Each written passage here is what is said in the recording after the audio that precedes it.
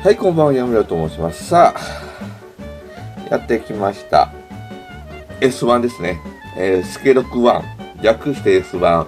スケロクの一番を決めようじゃないかという、えースケロク寿司ですね。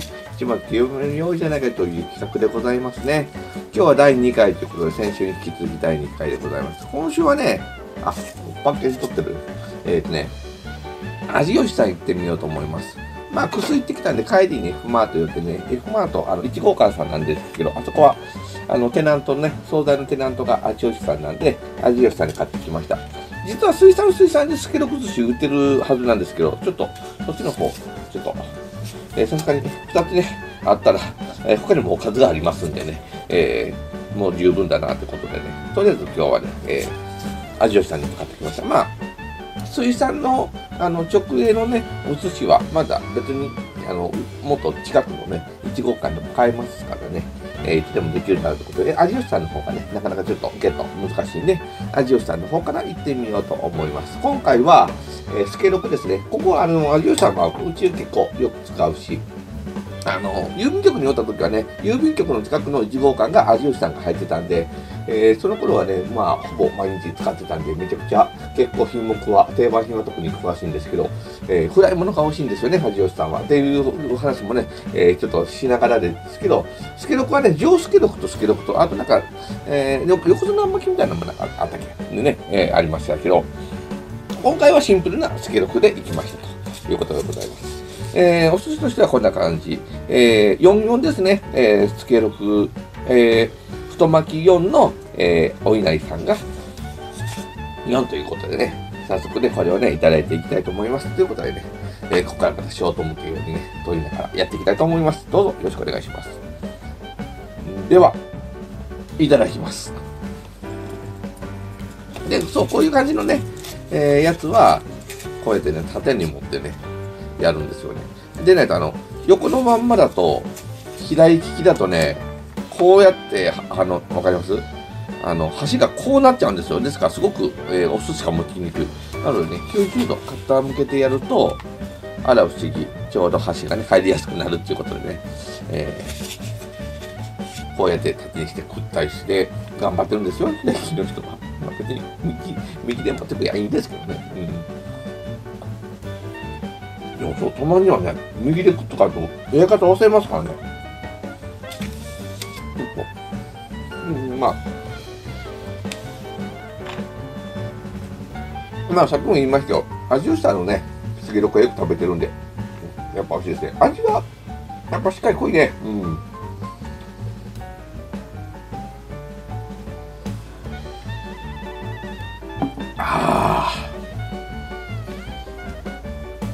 うまい。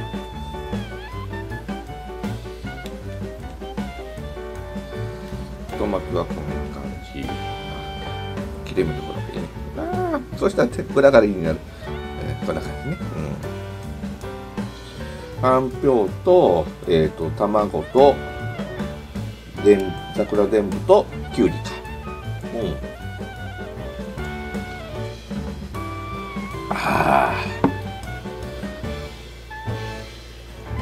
まい。そう、味吉さんはね、なんかの動画でも味吉さんね、取り扱ってたよね。なんだったっけ？唐揚げ弁当はやったっけ？味吉さんって。まだやってないよね。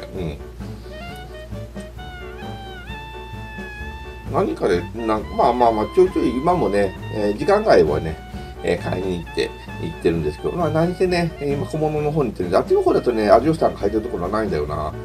うん。大谷地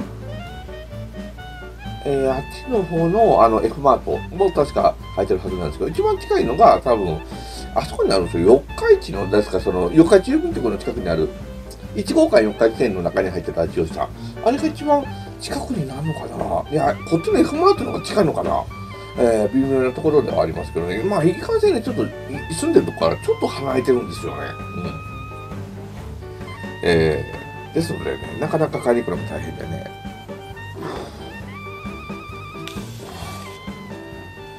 しかし今回本当参りましたよ。あの、正直、さすがに唐揚げ弁当売ってたろうと思ったらね、まさかの売り売り切れてたんでね。いやー、参りましたね。あ、ちなみに、多分これよりも先にあっちのがかかってるかな。えー、山田もくもくの方でね、ショーツ動画の方でね、えー、ロースカツ弁当買ってると思いますけど、えー、あ、味噌カツ弁当か、えー、買ってるのかと思いますけど、一緒に買ってる時です。あれと、これと、えー、スケロク寿司2個なんで、まあまあまあ、結構食ってますよね、結局。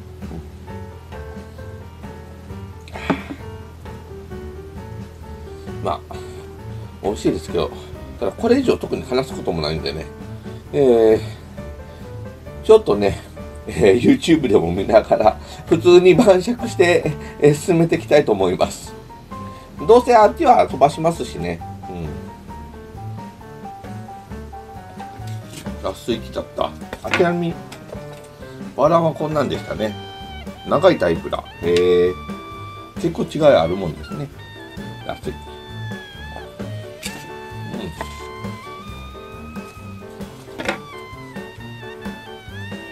ああ。ごちそうさまでした。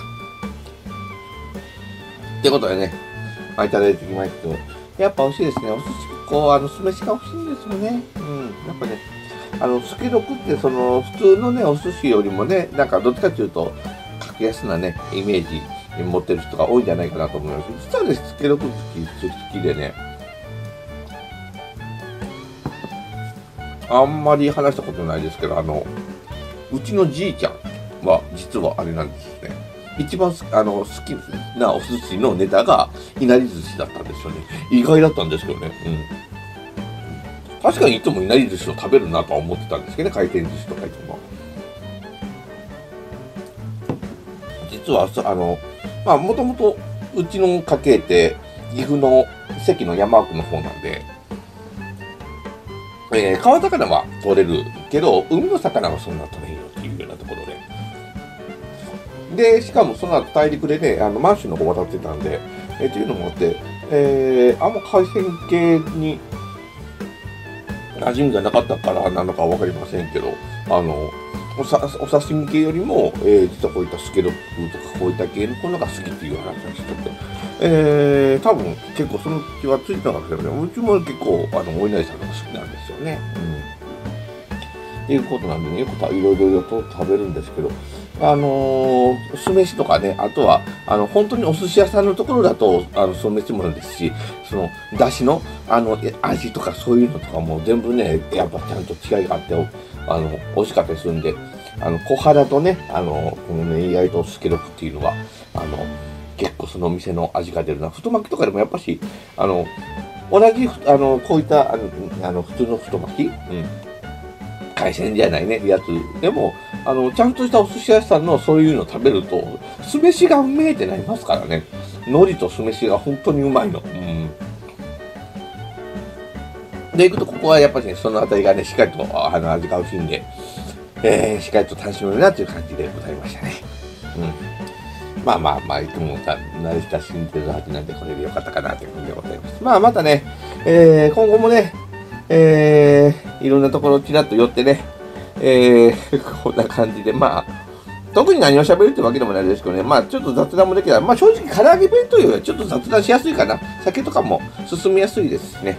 えー、というの方って言いながら今回の動画ほぼほぼ多分、無音のところが多かったとかもしれませんけど。まあ、こんな感じで、まあ、ちょっとね、手軽に撮れるような感じでね、えー、パチッと動画も撮っていきたいなと思ってますので、どうぞよろしくお願いします。さあ、次はどっちなのかな？唐揚げなのか、スケロクなのか、交互期待ということでね、とりあえず今回はね、今日はこれぐらいで動画を示させていただきたいと思います。ご視聴ありがとうございました。